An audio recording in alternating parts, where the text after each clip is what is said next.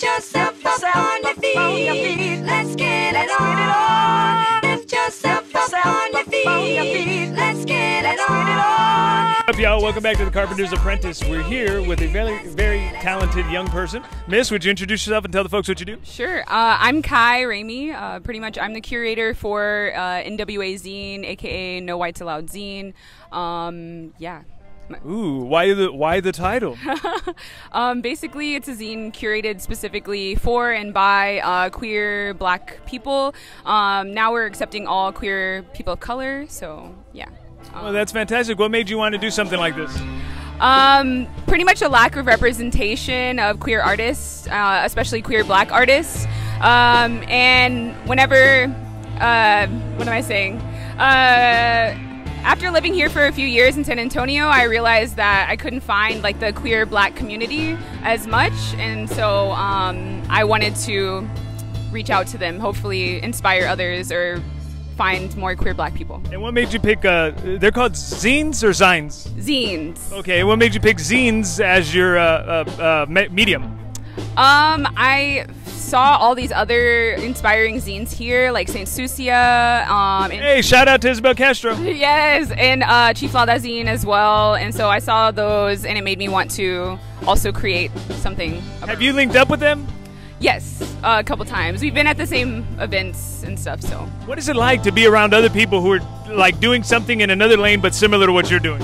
Um, it's really cool. It's very inspiring. Um, they inspired me to create, and I still kind of get inspired by some of the things that they do. So. And for you, what inspires you on a day-to-day basis when you're making these things?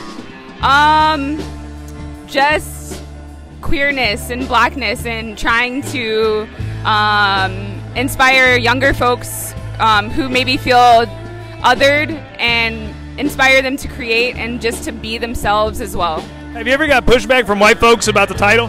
Um, at the beginning, yes. Whenever we first started um, the zine, um, before the release party, um, we got a bunch of people on Facebook who were hassling us and stuff, um, saying that we were racist, and um, but nobody showed up to the actual zine release to harass us or anything. So, Well, that's fantastic.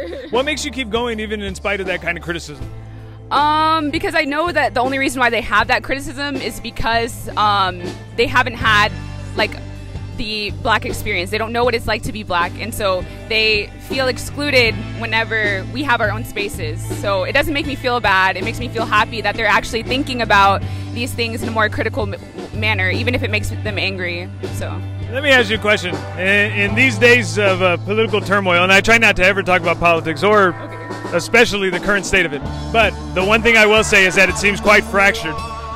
Do you have any clues as to how we can heal the divide?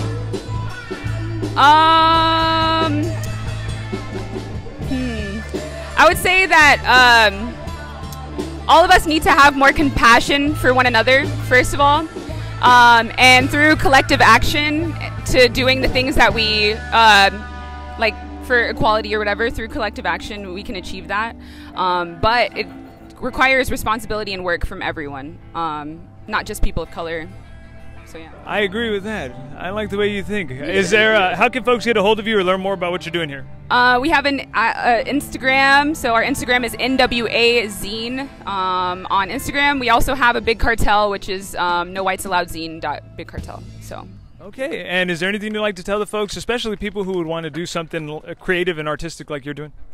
um, look at your local scene, see what they're doing. Um, maybe link up with them and Skillshare. But yeah. I like that. All right, folks, we're out here still, right outside the Guadalupe Cultural Arts Center. We're having a damn good time. But as for right now, we'll see you next one.